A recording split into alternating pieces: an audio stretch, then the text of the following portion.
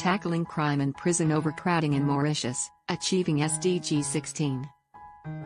Kaudeer Mehsana, government official. Jumoorty Aalam, civil rights champion. Kinoo Ali, NGO change maker. Khoosy Vikshay, judiciary advocate. Chinnarassen Sanjeeven, mediator. Welcome everyone. Mauritius is in the hot seat with rising crime and bursting prisons. Today we are not leaving until we find a solution that balances public safety, human rights and justice. Let's get started. Government, you are up. We've got a crime wave, especially in Port-Louis and Quatre-Bornes.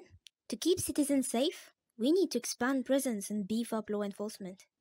It's the only way to protect people right now. Hold on. More prisons will just make things worse. We already have too many unsentenced detainees. Instead of locking up more people, we should focus on protecting their rights and improving prison conditions. Building more prisons won't fix the real problem. Crime starts in our communities because of poverty and inequality. We need prevention programs to tackle the root causes. Locking people up is just a band-aid. The real issue here is our slow legal system. We need faster trials to clear the backlog of unsentenced detainees. Let's speed things up and reduce overcrowding without needing more prisons. Okay, so we have got public safety, human rights, community program, and legal reform on the table. Can we find some common ground? Public safety comes first, but we can consider short-term prison expansion while working on long-term solutions like judicial reform and community programs. Short-term or not, expansion is risky. We need guarantees, humane conditions, and immediate reform for detainees, or we are just deepening the problem. Absolutely. And some of that funding needs to go toward prevention, rehabilitation, education, and poverty relief. Otherwise, we'll just keep filling those prisons. If we can speed up trials with more judges and technology, we can reduce overcrowding without expanding prisons too much. We need investment in legal reforms. So, here's the plan.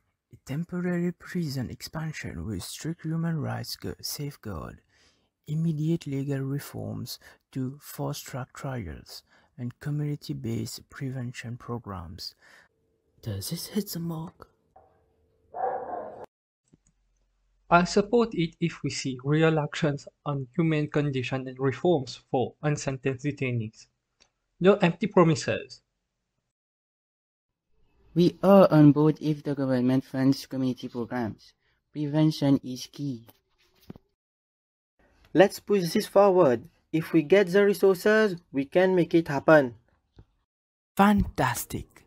We've got a multifaceted approach temporary prison expansion with legal and community reforms.